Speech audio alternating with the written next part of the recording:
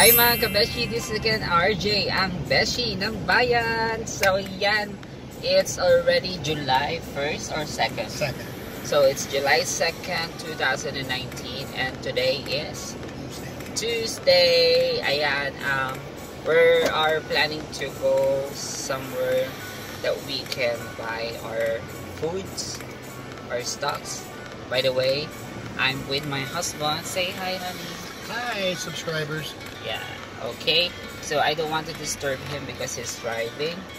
So yeah. Um, by the way mga kabashi, um, maraming maraming salamat sa lahat na nag-subscribes. We are already 1,400 plus subscribers. Ayan. Um, bali, kaya ako late nag, ano, nag video. It's already 3.32 p.m. Kaya ako late nag-video kasi nga may tinapos pa kami um, work nitong umaga. Yan, tinapos muna namin yon And then, naglinis ako ng sasakyan. Itong sasakyan namin. At nagtanggal lang ako ng dumi. And then, what else did I do? Yun lang, after nun. Kaya, yan, naligo muna. And then, yan. Pupunta tayo ng Asian store. Pupunta tayo ng Walmart. Pupunta kami ng Bangkok. Yan. So, talk to you later para mamaya pag nandun na tayo sa um, Walmart and then Asian store. Bye!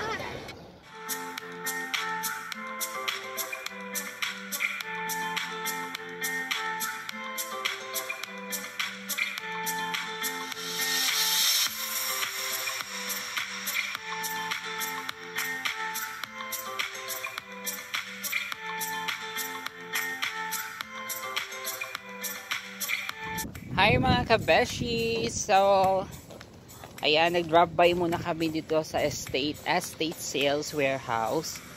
So, nagsasell sila ng mga vintage items, excuse me. So, ang, ang purpose namin dito ay makakuha ng pintura.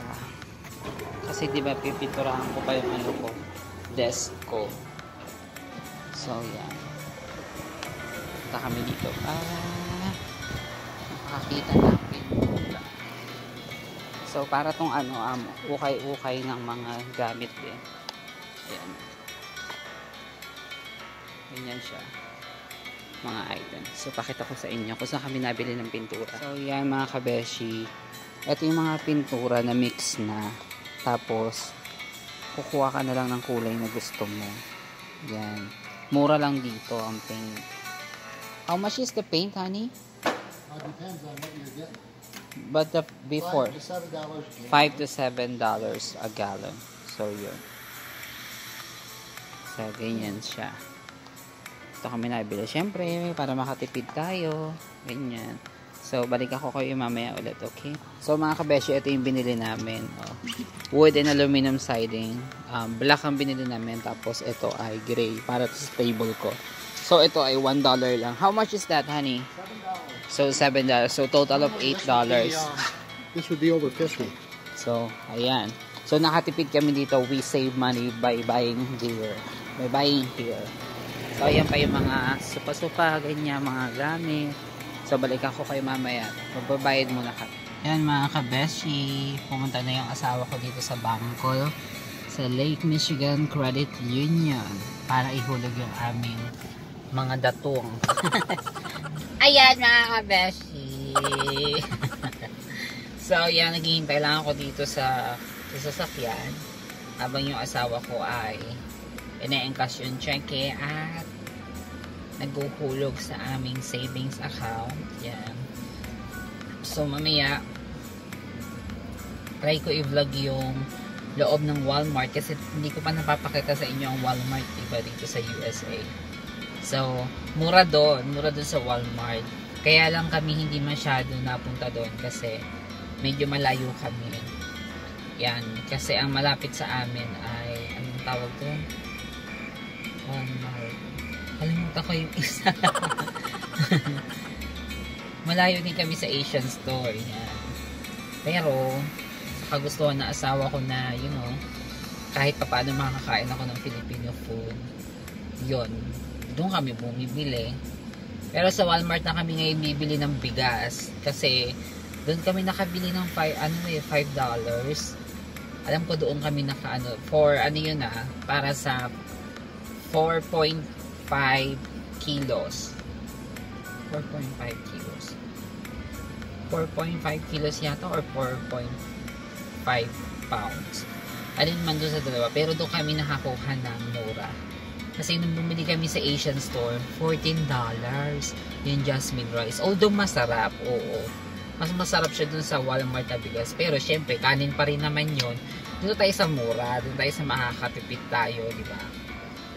Kasi, sana matuloy kami ng bakasyon namin sa Pilipinas sa December. Kasi, nag-check kami ng pamasahe. Ang mahal ano, 1800s na ang isang tao, balikan, $1,800. Eh nung, ano, nung pumunta siya ng Hong Kong, kasama niya ako, ang binayaran niya lang ay 700. Kasi ang pinili kong date ay December 23 to January 1. Epic season yun. Kasi nga diba Pasko, tapos bagong taon. So yan, talaga palang mahal. So, hindi ko alam kung matutuloy kami ng uwi ng Pilipinas or hindi. Sabi ko, kapag hindi tayo natuloy ng uwi sa Pilipinas, bibili na lang ako ng camera. E pa, ang plano ko kasi sa Pilipinas ako bibili ng camera na Fujifilm na yung ano yung napipli patalikod yung ano paharap pala yung ano yung screen para hindi ako mahirapan sa pag-vlog kung saan ako titingin kasi dito sa cellphone ko minsan tumitingin ako sa screen. Yan sa screen. Pag sa camera yan. Nalilito ako. Kasi tinitingnan ko kung ako okay ba yung itsura ko ganyan.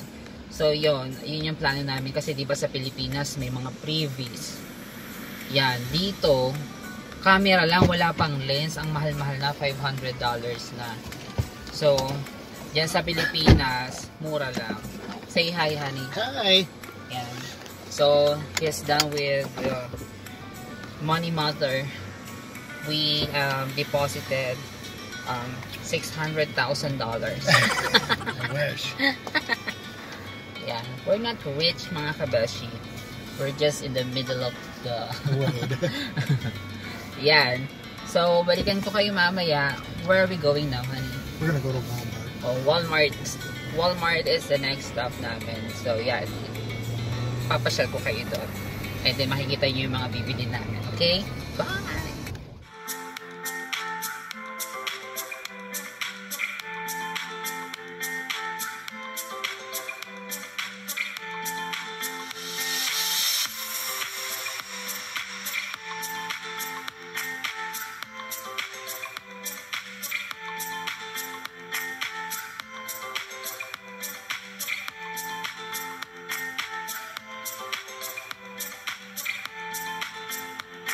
Mga kabashi, so yan.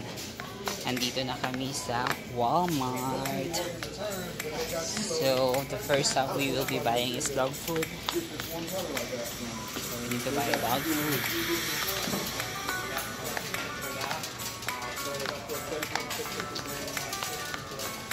So, pakita ko sa kanya paano yung tsura dito. Okay.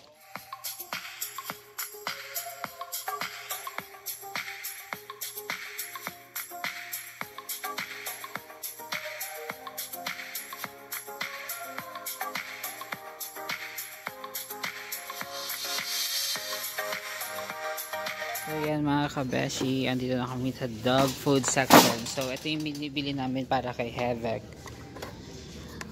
Yan. Prime cuts ng Alpo, Purina. Minsan kinakain din namin yan. Charot! sometimes honey, we eat that right. What? We eat that right sometimes. Yeah. That way. So, wow, that's a lot for Havoc. He is getting spoiled.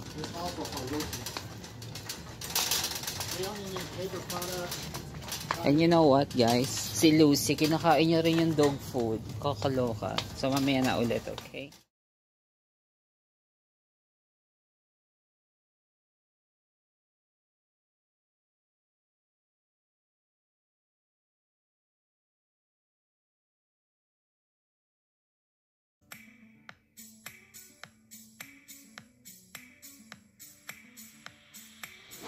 So, yan mga kabeshi, nandito na kami sa counter. Pabayad na. Tapos mamaya, pag uwi namin, share ko sa inyo kung ano, um, kung ano-ano yung mga item na binili namin. And then, hindi na kami pupunta ng Asian store. Bukas na lang daw. Pick 125. Hmm. So, yan yung mga nabili namin. So, mamaya share ko sa inyo, okay? Hi mga kabeshi! So, welcome back. Tapos na kami mamili sa Walmart. Bali, hindi kami pupunta ng Asian store. That will be tomorrow. And then, um, ang nagastos namin ay $195 for our grocery. But, that is worth it because that is a lot of food. Okay? So. So later, I will be sharing you guys, mga kabeshi, kung, mag, kung ano-ano ba yung mga binili namin. Pero hindi ko na i-share yung price, syempre. Um, pauwi na kami ngayon. Sabi ko sa kanya, dumaan sa ano sa McDonald's para bumili ng Coke Float.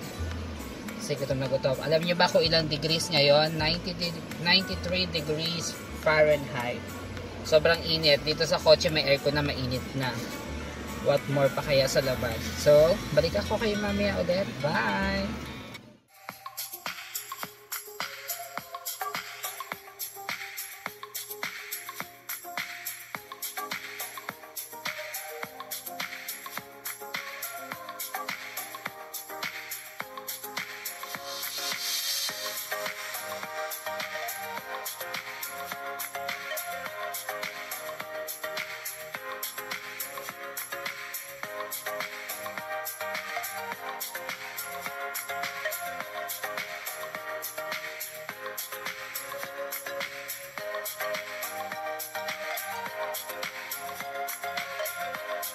Welcome back home mga kabeshi. So, ito na nga ang ating first batch ng ating pinag-grocery sa Walmart. So, abangan nyo ang next video para bukas sa pagpunta namin sa Asian store.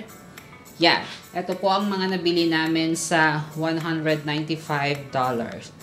So, um, kaya siya naging mahal kasi may mga binili kaming item na hindi naman kasama sa mga bibili namin.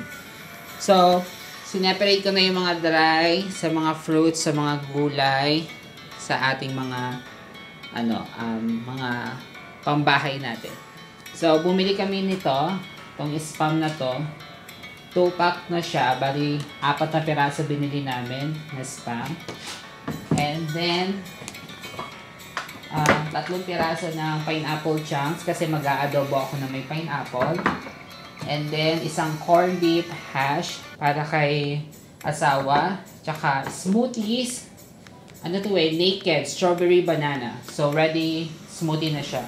And then, alpo para kay Havek. Bumili kami ng 24 pieces. Tapos, dalawang tray ng 18 pieces na egg bawat tray. Yan.